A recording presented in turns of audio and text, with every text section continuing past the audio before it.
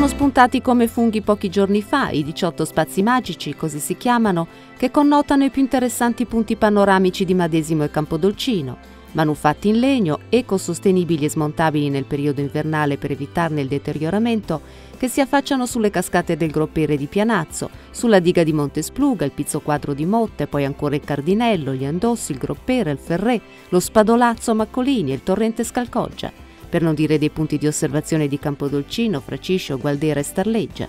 Nel giro di due mesi un team affiatato, guidato da Giovanna Mosca di Busto Arsizio, ma con residenza e cuore nella perla della Valle Spluga, ha allestito il tutto avvalendosi del supporto del municipio madesimino.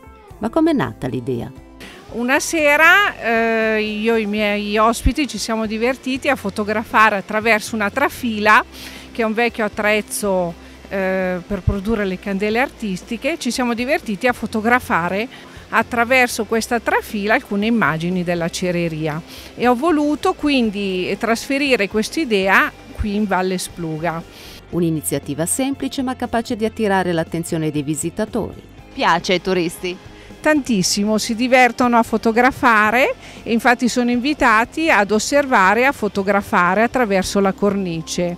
Quindi osservando all'interno di queste cornici il paesaggio eh, viene visto in una maniera diversa. Poi c'è anche un cartello dove viene spiegato cosa si osserva. Con traduzione in lingua inglese, perché anche se in questo periodo post-ferragostano la clientela numerosa e soprattutto italiana, non mancano le presenze di turisti stranieri con l'obiettivo di implementare il progetto il prossimo anno introducendo nuove postazioni. L'idea è quello di creare un progetto più ampio che possa valorizzare questa bellissima valle, la Valle Spluga. Noi abbiamo aderito a questa iniziativa anche perché crediamo che molti turisti non conoscano tutto il territorio e non conoscano diciamo, questi spazi magici che, Giovanna, che Giovanna Mosca ci propone. Un'iniziativa a costo prossimo allo zero, utile ad aumentare la capacità attrattiva della località, fermo restando che nel cassetto l'amministrazione Masanti ha interventi importanti da portare a termine.